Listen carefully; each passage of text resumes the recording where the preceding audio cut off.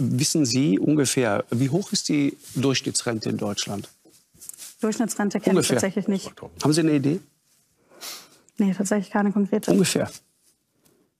Ich würde davon ausgehen, dass wir um die 2000 Euro liegen. Grünen-Chefin Ricarda Lang weiß nicht, wie hoch die Durchschnittsrente in Deutschland ist. Bei Markus Lanz tippte sie nach langer Überlegung auf 2000 Euro. Das liegt knapp 500 Euro über der Realität. Was sagen die Menschen über so viel Ahnungslosigkeit? Wir haben uns in der Münchner Innenstadt umgehört.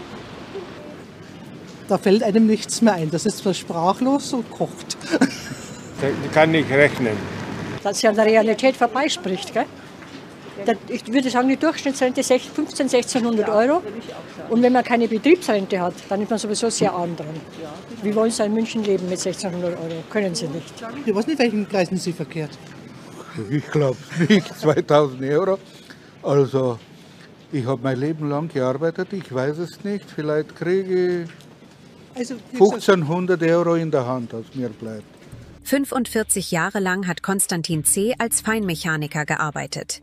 In einem Jahr geht er in Rente und erhält dann rund 1500 Euro im Monat. Seine Frau Gabriele C. arbeitet als Sachbearbeiterin.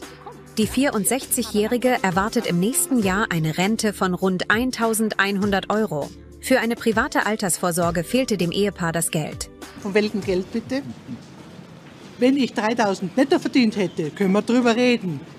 Na? Aber mit, mit 1300 netto auf die Hand, was mache ich denn mit 1100 Miete? Ja. Frage, von was für ein Geld? Von was für ein Geld sind die wo Friseusen, Krankenschwestern, all die ganzen Sozialberufe, von welchem Geld?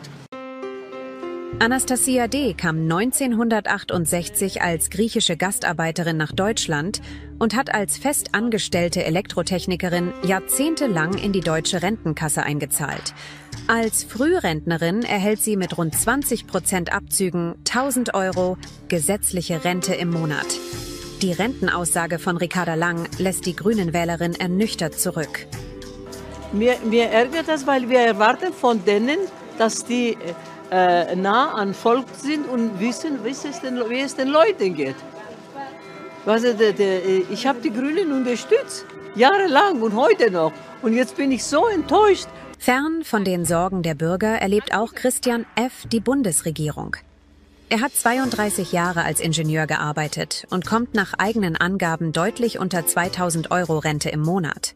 Deshalb hat er bereits früh begonnen, privat vorzusorgen. Die Politiker leben irgendwo noch nicht in der Realität. Die, die leben irgendwo im Wolkenkuckucksheim, die wissen nicht, was los ist. Das interessiert, das interessiert sie auch nicht. Was wäre, wenn es ab sofort die Langrente gäbe, also durchschnittlich rund 500 Euro mehr?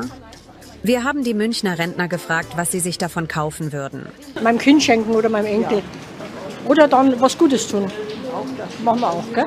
Eine größere Wohnung und etwas auch für die Sozialeinrichtungen äh, geben, und dass den Leuten auch besser da geht. Ja, weiß ich nicht.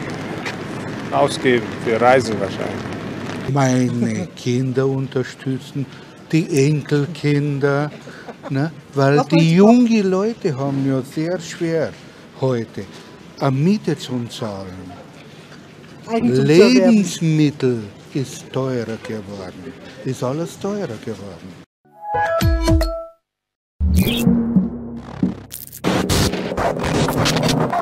Musik